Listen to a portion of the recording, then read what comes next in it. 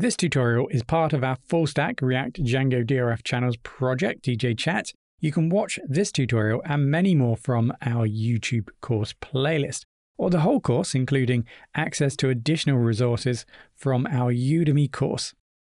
The Udemy course link, which provides the best price for the course, is in the video description. Right then, so let's go ahead and refactor the models so that we can support icons and banners in the Django models. We saw in the preview that the category had some sort of icon associated to it. So let's go ahead and create an icon field uh, so that we can associate it with an icon. Now, this icon is going to be an SVG, and I think it isn't supported by the traditional um, image field that we're going to use for the banner and the icon in the server. So because of that, we'll use the file field. So it just allows us to expand our knowledge on the different field types. Um, file, we don't have to do this, of course, but um, that's the approach we're going to take. So it should be models.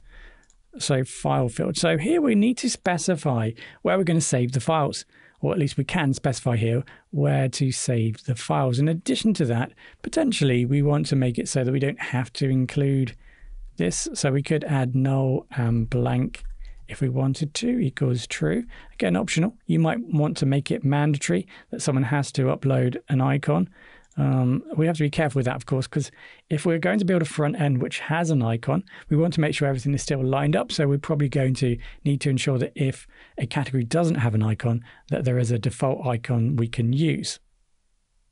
So we're going to build a new function here to specify where the files are stored. So category um, icon, um, upload, path. Uh, so we're going to call it category icon upload path. Yep. Um, so we're taking instance and the file name. We might need that, and then we go ahead and return the actual location of where we're going to store this image. So it's going to be category slash and then we're going to need the instance ID. So we're going to store it into a folder called category, and then we're going to categorize, or we're going to then um, format. I'll start again. We're then going to create a new folder related to that particular category, so instance ID. So the folder is going to be called whatever the instance ID is, whatever the category ID is.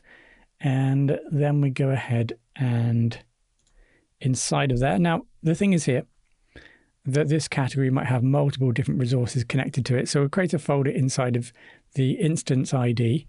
Inside of here, we'll create a, a category um, icon folder. And then inside of there, we go ahead and specify the file name. Okay. Let's just tidy this up. Of course, we don't need that there. Let's finish that. Okay, so let's just finish this up so we don't need those doubles there. There we go. So now we can specify here in the file field the upload. So upload to equals, and that's going to be category icon upload path, comma. Add a comma at the end here so we build a nice presentation. Now, of course, we're going to need some icons, right? So if you head over to fonts.google.com slash icons, we can access some different icons here. Right, so just to test this out, uh, we'll go ahead and maybe change the weight to 600. Um, okay, so let's just try something out. We've got home here. So we are given a few different options. We can download it as an SVG. Sorry, it's off screen, um, but on the bottom right hand corner, it will say PNG or SVG. Can't see it there, but it will be on yours. Uh, so just go ahead and download it as an SVG. So that should download. Right, so we are going to need to now make some changes here. Uh, so let's go ahead and make sure we manage.py, make migrations. Now, spelled that wrong. Now notice here, it does specify we have some issues. The media URL setting must end with a slash, so just a few different media URL needs to end with a slash. There we go. Just change that in your settings. There we go. So make migrations now works okay. So let's go ahead and migrate.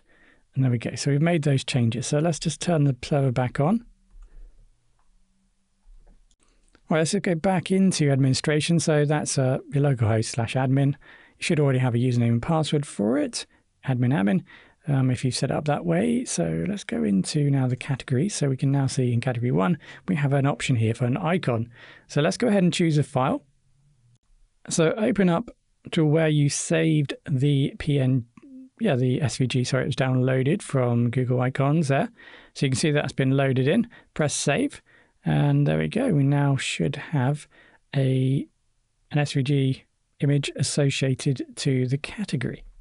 So now when you head back into the Django project folder, you can see the media folder and it now utilizes the folder structure that we set out in the model.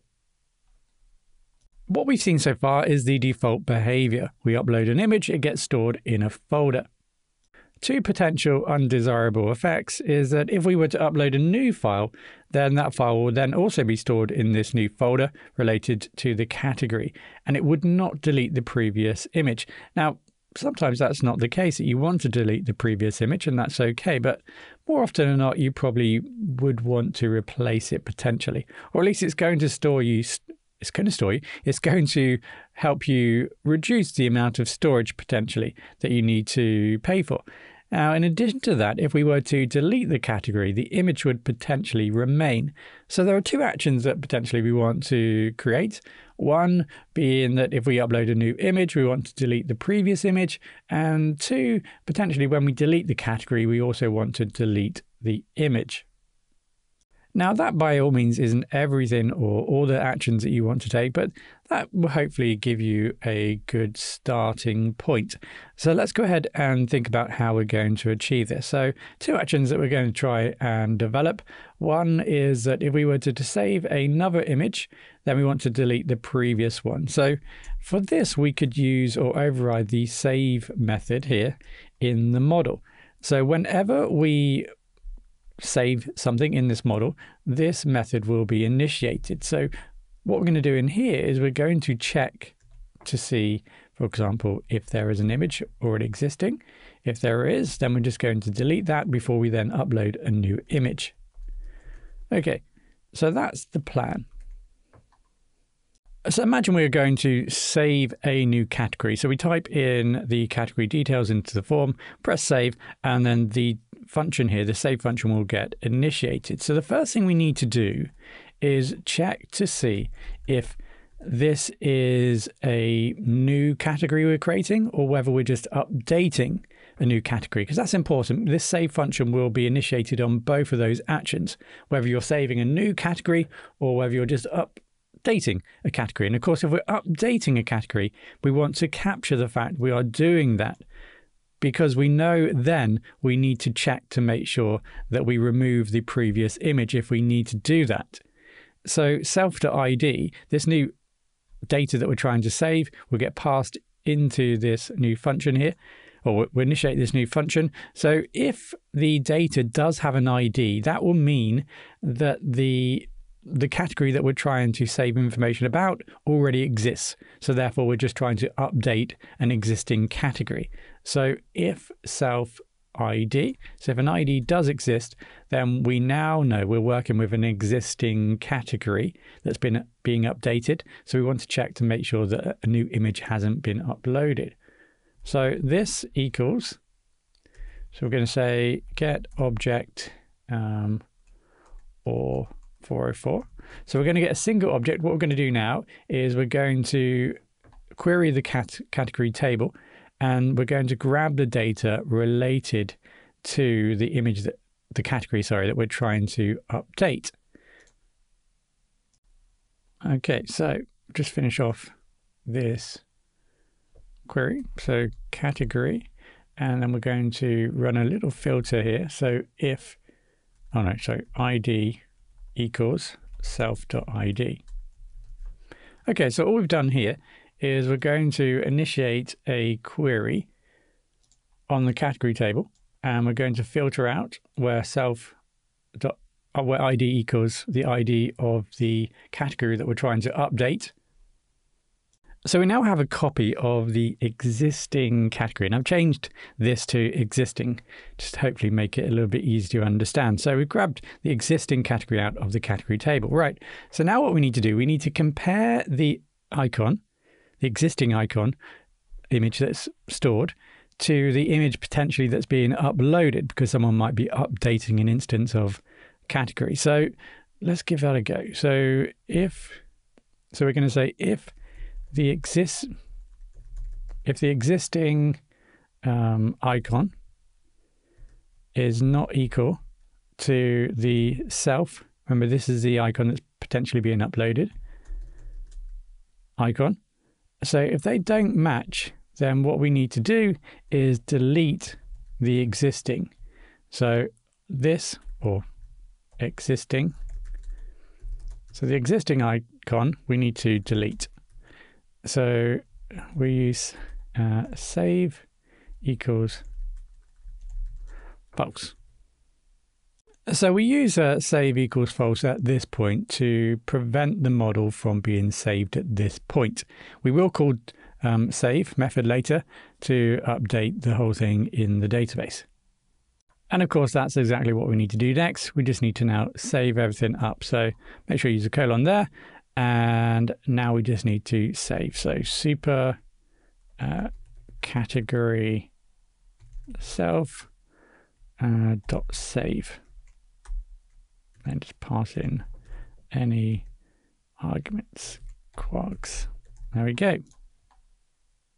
Okay, so let's not forget to import the get object or 404. This is just a shortcut for creating a a query, if you like, that's going to return one object, uh, or else it's going to return a 404. So we'll find that. Um, where are we going to find that from? I think the Django shortcuts. Let's go ahead and import get object or 404. Or get object. Okay. Uh, just finally, quick looking at code. The save needs to be after the if, the second if here. Um, there we go. So now we can test this out. So what I've done is I've renamed the image that we downloaded previously from home field zero blah blah blah to just new.svg. And I've already chosen that. So I just need to press save. So hopefully that's now been updated to the new file there. Yep. So now when I go back in and have a look at the images, you can see the previous image has been deleted and the new image has now replaced that. So the second functionality here, we want to make sure that if we delete a category, we also delete the image. So again, this is just an example. Uh, so let's go ahead and add this to just underneath the save function here. So here we're going to be utilizing Django signals. So, in essence, if you're not familiar with Django signals, is that when certain events take place, for example, in the model here, we can capture, um, or we can, yeah, we can capture the fact that that event has taken place. And we can then go ahead and perform additional tasks. So, a delete is an event that might occur on this table. So we can look out for a delete event and then we can perform additional tasks. And that's exactly what we're going to do here. So what we need to do is set up a, a receiver. So we're going to say models.signals. So we're going to capture um, the delete signal, if you like, or capture when something may be deleted from this model. And we specify a sender. So that's going to be server dot category. So we're just specifying the category table. Let's just uh, finalize this import. So we're going to from Django dispatch. Now we're going to import uh, receiver. There we go. So let's define a new function. Uh, we're going to call this uh, we're going to call this category uh, delete files. Give that a go. And we're going to need uh, sender. So the model class that sent the signal, uh, we're going to need the, the instance. That's the instance of the model that is about to be deleted. And then we're going to need, or we can then pass in uh, any keyword arguments. So now we're going to iterate over the fields, um, each field individually. And if we find a field name icon, then we know what to do. We then delete the image. So let's give that a go. So for uh, for field in it, the instance that's being deleted. So we're going to just loop over all the fields. And then we want to check or we want to look for the field name uh, icon. That's what we're trying to find. So we can then delete the image. And then, of course, we want to delete the image. So we need to check whether there is an actual image that exists or not. So let's go file equals uh, get attribute and then instance uh, field name. Okay, so then we can test to make sure that we have an image to delete. So if file, then we just go for file dot delete. Um, then we don't want to save at this point. So save equals false. The model will be saved automatically after the signal has been processed. So we don't necessarily need to do anything at this point to save, and that's just about it. So let's give this a go. Let's go ahead and delete a category and see if this works. Okay, so let's just make sure the server is turned on. Uh, just give this a go. So I just refresh the admin page again. It's just the admin site. If you've forgotten, it's 127001 colon 8000 slash admin and log in. And then we'll just go over to categories. Let's um, delete category two. Actually, it doesn't have an image. Um, so let's delete category one for now. So we're just going to go ahead and we'll just do it from here. Category one. Let's go ahead and delete that. And you can see because of the foreign key, this category is connected to multiple servers. So in actual fact, if we delete this category, we are also going to be deleting because we have that cascade effect in the model, set in the model. Uh, so if we go back into the models, if you've not seen that, in server models, already in models, um, down here we have the category and we've set the on delete to cascade and this is why it's deleting all these other items. So that's not a problem for now. Yes for sure. So we deleted that category. So hopefully when we go back here and take a look now in our media folder you can see that the image has now been removed. Right so hopefully that gives you a baseline into some of the common tasks or common actions that you might want to take if you are working with images and you do want to remove them.